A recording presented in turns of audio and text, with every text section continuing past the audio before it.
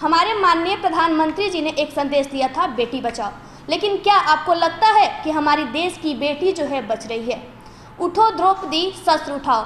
अब लगता है कि कलयुग में भी द्रौपदी को शस्त्र उठाना ही पड़ेगा, क्योंकि कल तक केवल अंधा राजा, अब गुंगा बहरा भी है, होठ सी दिए हैं जनता के कानों पर भी पहरा है। नमस्कार, सिटी पोस्ट में आपका स्वागत है आपके साथ मैं मृदुला।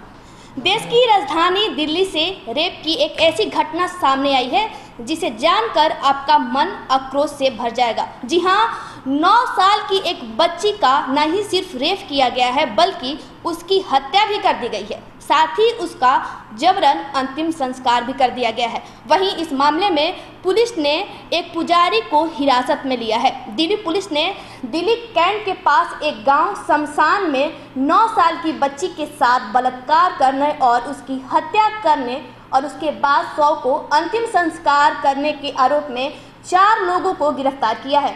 वहीं एक पुजारी सहित चार आरोपित ने कथित तौर पर लड़की के शव को उसके माता पिता की सहमति के बिना पुलिस को सूचित किए बिना अंतिम संस्कार कर दिया है। वहीं पीड़िता की माँ को बताया कि बच्ची की मौत बिजली के करंट से हुई है।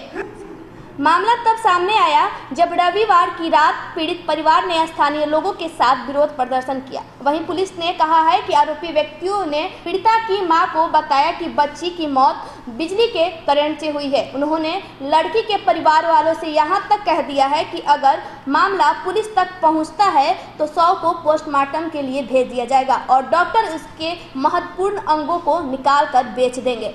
वहीं इस मामले पर तेजस्वी यादव का बड़ा बयान सामने आया है। जी हाँ दिल्ली में एक नौ वर्षीय मासूम बच्ची को बेरहमी से गैंगरेप कर उसे दरिंदों ने जला दिया है। दिल्ली में कहीं आक्रोश नहीं है क्योंकि बच्ची गरीब और दलित वर्ग से है। वहीं जातिवादियों को चाहे वो मीडिया से हो, शासन प्रशासन से हो, क्या उन्हें गरीब, पीड़ितों और दलित का दुख दर्द महसूस नहीं होता है? फ़िलहाल इस खबर में इतना ही। बने रहे सिटी पोस्ट के साथ। धन्यवाद।